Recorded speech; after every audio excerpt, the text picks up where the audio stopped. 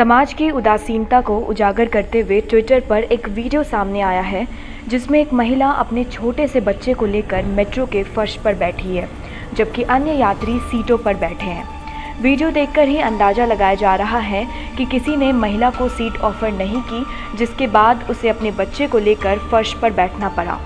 इसी बीच अन्य यात्री अपनी सीटों पर आराम से बैठे हैं, लेकिन महिला के लिए कोई भी दया नहीं है।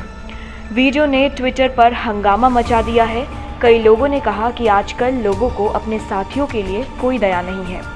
वीडियो को आईएएस अधिकारी अवनीश शरण ने ट्विटर पर शेयर किया और कैप्शन में लिखा, आपकी डिग्री सिर्फ़ एक कागज़ का टुकड़ा है, अगर वो आपके व्यवहार में ना दिखे।